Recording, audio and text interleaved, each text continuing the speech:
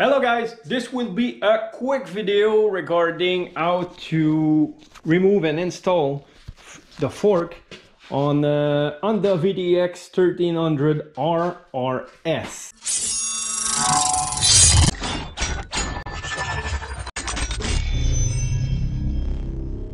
That has nothing to do with the VTX 1300 C. It's a complete different setup. Uh, on a C, the fork are exposed, so everything is easy, way easier. Uh, it's basically a naked bike compared to the S and the R.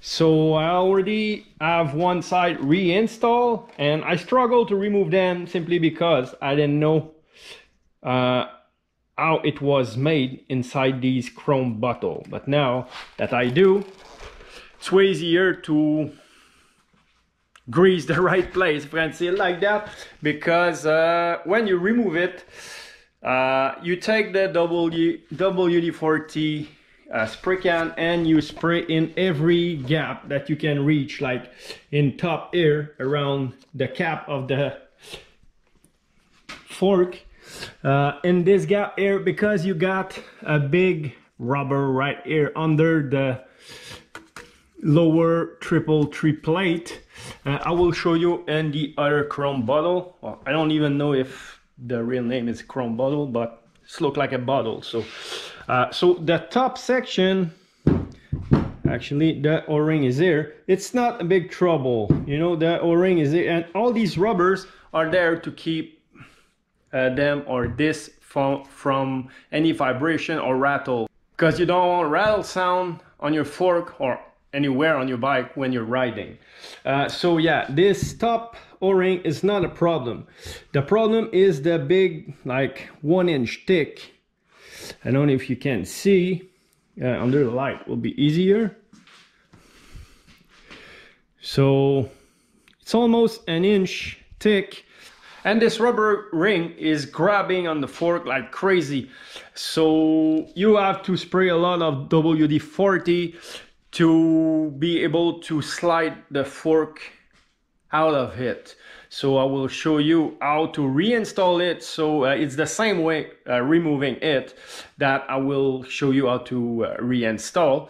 Uh, so at least now you will know how it's made inside these chrome bottle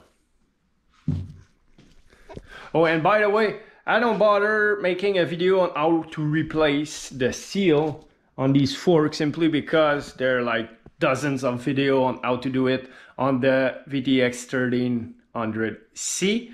Uh, but the is the same way on a C, on a R, and the S. The four are made the same.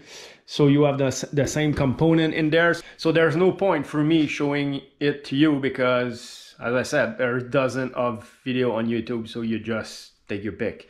But I will show you how to reinstall these simply because uh, I would have loved to find a video when I did remove that the first time. So I didn't found any, so I'm making one. So if you have this trouble, at least you will know how to proceed and you will keep or you will avoid the struggle.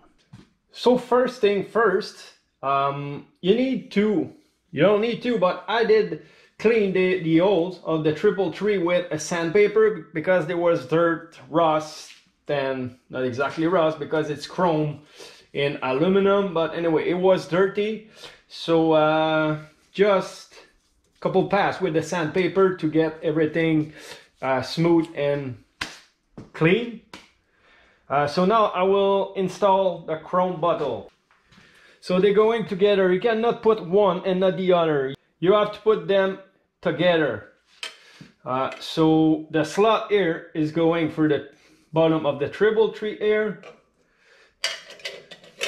And the reason why you need to put them together before is because if you install this one, you cannot install the top one after that. So you put her in its place, you line up the tree, the, the hole as much as you can and you slide it in a triple tree. So it's just that easy. After that I will put the bolt. I will move the camera so you can see a bit because it's pretty tight and there's no much room especially with my uh, fog light wiring. There's no much room to put these screw in place, but after you have one done, it's easier.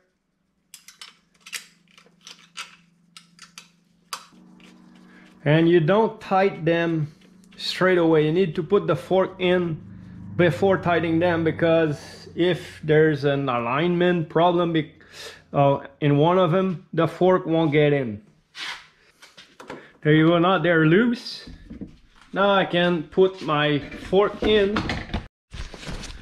Okay, here, so there's two step you need to do, or it's easier if you do that. Uh, of course, being gentle, but I wedge a flat screwdriver in both pinch uh, section of the triple tree. So it's opening the entry a bit. It's easier to pull or to push the fork inside. And the second step is to, I don't have any WD-40, but I got Jigaloo. Uh, you spray a ton of Jigaloo on that rubber because uh, the fork will just stuck at the rubber and it won't it, it will not want to go anywhere. I'm also uh, putting some oil on the fork so everything is getting smooth as smooth as possible. So yeah these are two steps that will make your life way easier uh, when re reinstalling the fork or putting back the fork on the bike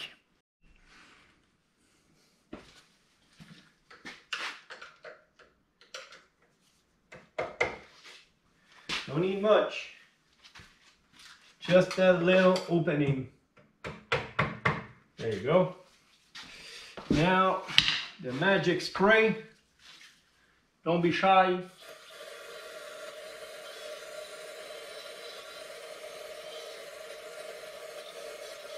And I know it will spray over the bike, but I need to wash it anyway. I could have just put something on the bike, but need a good cleanup. So now we'll put some oil on the fork. And of course, if you do both fork in the same time, make sure not to mismatch them because the, the one with the caliper bracket go on the right side. So don't, don't make that mistake. You will hate yourself. So now I will know if I put enough still tight there you go.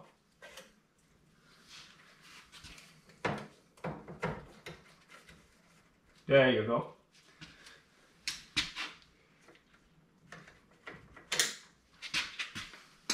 Now we'll just tight the pinch bolt. Make sure the fork doesn't go anywhere because with the oil and the jigaloo or the WD-40 on the rubber, if I let go on the fork, it will fall on, on the ground. So I will install the pinch bolt. Make sure I put both fork the same height.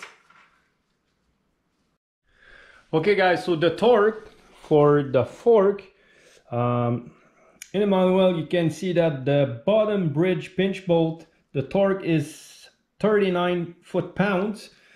Uh, the top bridge bolt is 70, uh, 17 sorry foot-pounds uh, the cap, I believe, yeah, the, the fork cap is 70, 17 foot pound as well. And the cover bolt, they are nine pounds. The cover bolt must be the chrome bottle that I am referring to earlier in the video. So, and about these, now that the fork is in, don't forget to tighten them because still loose. So now you have the specs for the torques and you know how to do that.